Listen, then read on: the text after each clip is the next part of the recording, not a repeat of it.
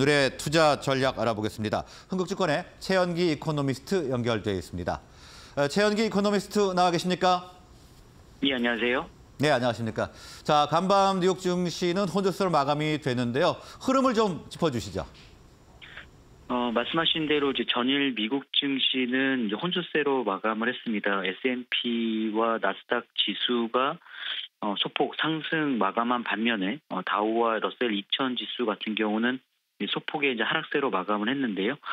아무래도 뭐 4분기 이제 기업 실적 발표가 이제 시작되는 가운데 뭐 전일에도 이제 미국채 금리의 좀 상승이 있었고요. 또 어, 최근 반등에 따른 뭐 차익 실현 매물이 좀 출회가 되면서 이제 그런 부분들 때문에 어, 좀 일정한 방향성을 좀 보이지 않는 그런 상황으로 어, 인식을 하고 있고요.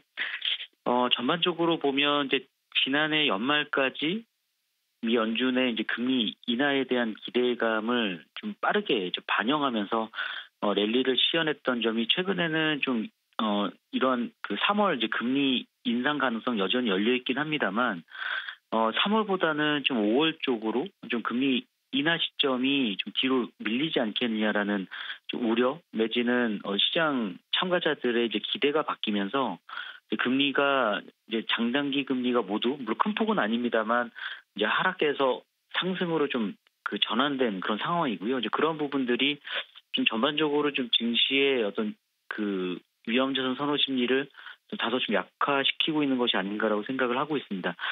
어, 3월 이제 저희는 사실은 이제 작년부터 이제 계속 그 2분기 중에 이제 금리 인하 가능성을 좀 높이 봤었는데요. 그러니까 3월에 금리 인하가 이루어지기 위해서는 이제 다음 주에 있을 1월 FOMC 회의에서 이제 확실한 어떤 금리 인하에 대한 시그널을 줘야 되는데 아직까지는 이제 미국 뭐 고용 지표라든가 소비 지표를 보면 이제 경기 침체와는 좀 먼 그런 상황이고요.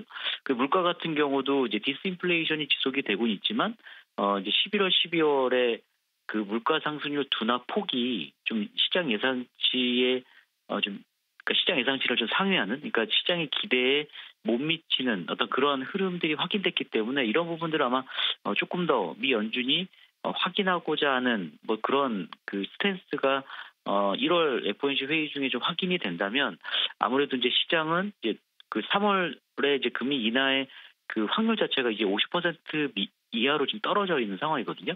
이제 그런 부분들이 더 그 금리 인하 확률이 더 낮아지면서 오히려 이제 5월 달에 금리 인하 확률이 올라가는 아마 이제 그러한 흐름들이 좀 이어지지 않을까라고 생각을 하고 있습니다. 네, 미국 증시 3월 금리 인하에 대한 기대감이 후퇴하면서 일단 네, 투자 심리가 한풀 꺾인 모습을 보이고 있다 이렇게 정리를 해보겠습니다. 자, 그러면 향후 주목해야 할 변수나 이벤트가 있다면 어떤 게 있을까요? 지금 이제 특징적인 게 이제 뭐 지난 어제 같은 경우는 이제 중국 증시가 이제 2조 위안 규모의 경기 부양책을 발표할 거라는 기대감으로 뭐 중국 본토 증시와 이제 홍콩 증시는 이제 그간의 낙폭이 이제 컸던 거를 일부 좀 만회하고 있는 상황이긴 합니다만 기본적으로 어 뭐 LPR 금리도 동결을 했고 이제 모든 이제 그 기준 금리 자체를 이제 동결한 상황에서 중국이 이제 그 시장이 기대하는 어떤 확실한 어떤 경기 부양책을 내세우지 않고 있기 때문에 이제 그, 그에 따라서 좀 경기 회복세도 다소 좀 미진한 상황이고요. 올해의 어떤 경제 성장률도 지금 해외 IB에서는 계속적으로 성장률 뭐그 전망치를 좀 낮추고 있는 상황입니다.